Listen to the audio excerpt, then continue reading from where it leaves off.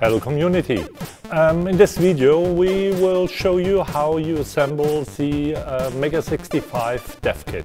So you received the package from Trenz and today we're going to show you how you actually put the nice acrylic case together and get your Mega 65 dev kit ready for use.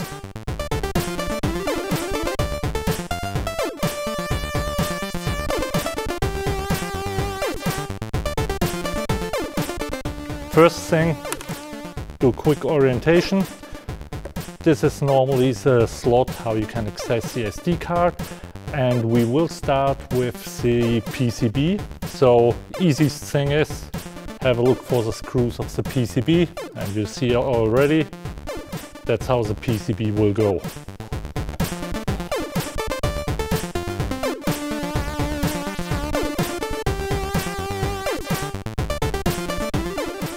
These ones are the ones that we need for the uh, floppy drive. These are the distance washers for the PCB. Should be seven of them. Exactly. So these are the washers for the PCB. These ones are the distance washers for the floppy drive and these should be eight. Your dev kit comes shipped with a re completely refurbished floppy drive. Take one wash over here.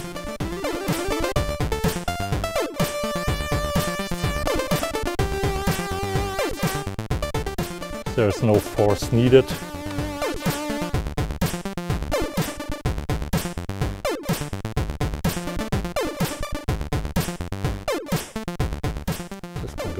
For a second. We have to start with the PCB. To do this, we need the distance washers now. So, all acrylic plastic parts are sealed with a plastic foil on both sides. So please remember this when you assemble the um, dev kit. We just take one screw. They're all applied with adhesive, so it shouldn't be an issue getting them on. So what I do now is I use one screw. First one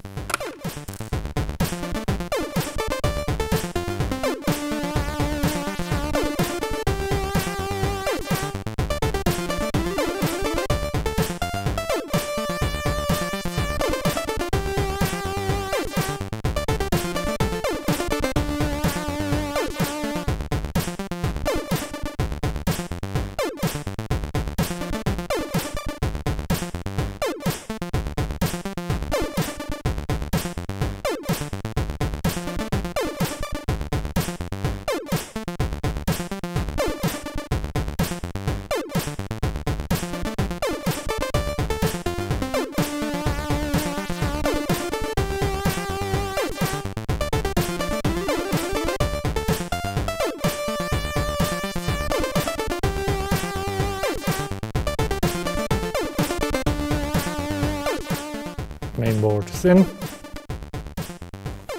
You already can set the three distant bolts for the case itself.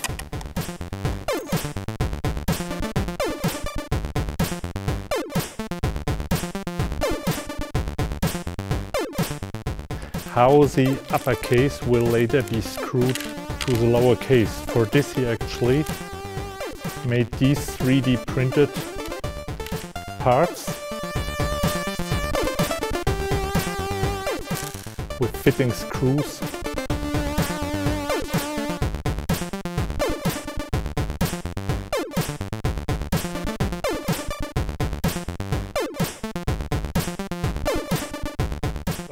This part is prepared. Now we can start with the floppy drive. So we start with the data cable. Have a look how I fold it. The GND pin connection is shown correctly. Also keep in mind this is the more flat 34 pin connector while the side on the floppy is the other type. Okay, we start now by folding. We call it the cable origami. And we actually start by folding it downwards, like over here.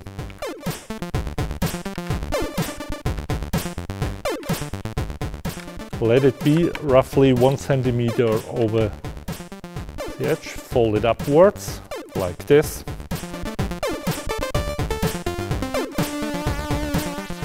Fold it to the back side.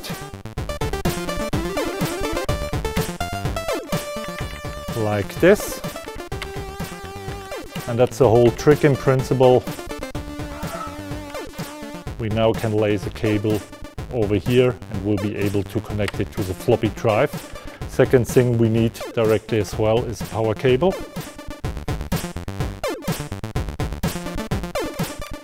For the power cable, softly bend down the cables over here. You can make an easy test fit and you will see it fits perfectly in like this. Before we actually can go ahead and mount the floppy drive onto the um, base part of the case, we have this programmer was supplied as well by, uh, by Trenz. You have to put the programmer in the appropriate place. Please ensure that you are pin correct with the programmer on it. The next thing before we, we continue putting the floppy disk drive in, Please ensure that you have dip switch number one, this one, and dip switch number three, this one, in on position. Um, it is a lot harder to do, do this afterwards once the floppy drive is connected, so please ensure dip switch 1 and dip switch 3 as shown over here are in the on position, the other ones are in off position. Also, you've been supplied mini USB cable so if you want, you can already attach it. This makes life easier later as well.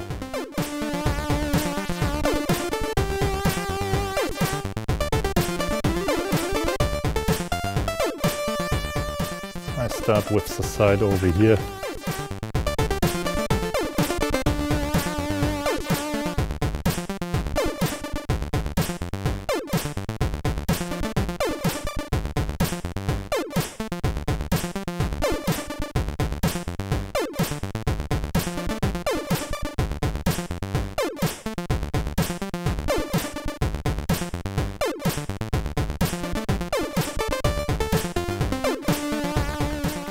You can see now nicely over here is the plastic distance washer over here in the top part and here on the lower part. Like I said, these distance washers are absolutely essentials, otherwise we will have problems when we later try to put the side plane on our case for the floppy cutout. First, this is the main keyboard plastic holder that will keep the mainboard inside the case. You see this here on the side.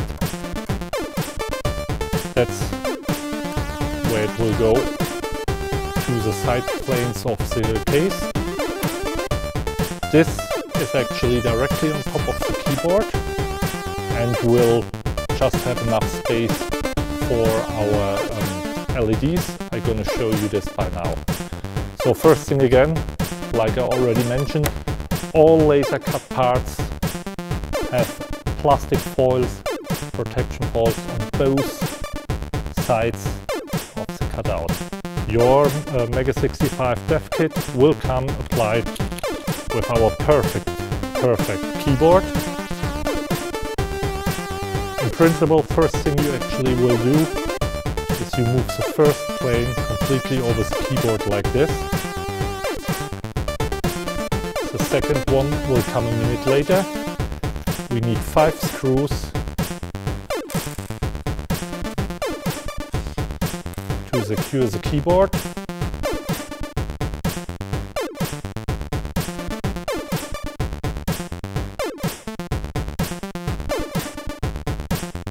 The keyboard is secured with five screws, so you see there are only a couple of them to be precise, this one is one of the screws, this one, this one, this one, and this one. This one and this one are not used. While we got the keyboard over here, we take one of the supplied cables. That's the keyboard cable which will connect the keyboard to the Mega 65 mainboard. Quite easy, the cable is fa facing towards you inside the keyboard PCB and you actually just with not much force put it on. It's also prepared already.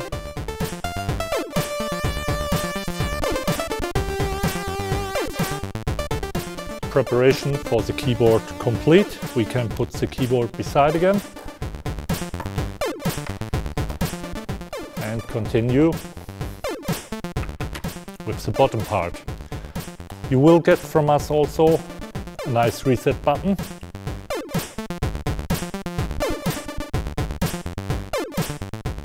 So now we have everything together, we can actually start we start with the backplane. It's amazing how beautiful this case looks like.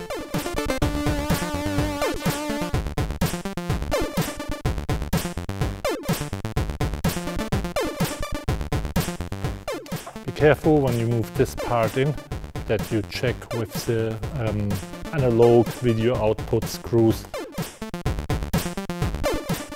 like I said, it's very important that you have the programmer in.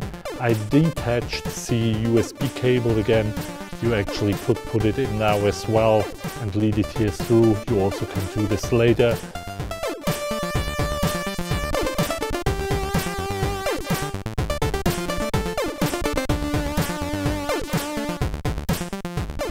For the keyboard, ensure that the cable is looking towards you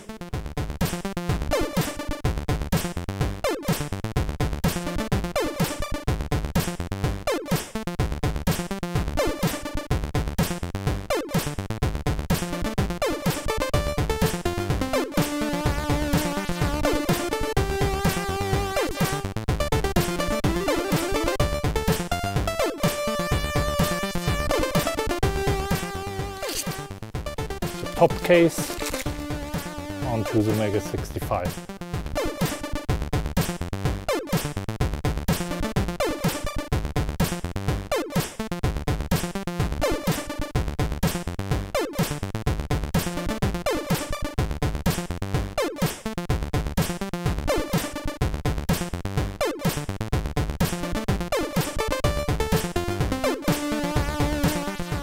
So, last thing left, actually see feed.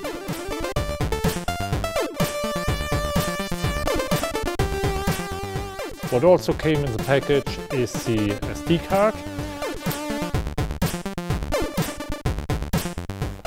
Your Mega 65 is ready to go. So if you followed the, our assembly video, we would like to wish you happy programming. And for all other informations, how to start and so on, please follow the links in the description. Thank you very much.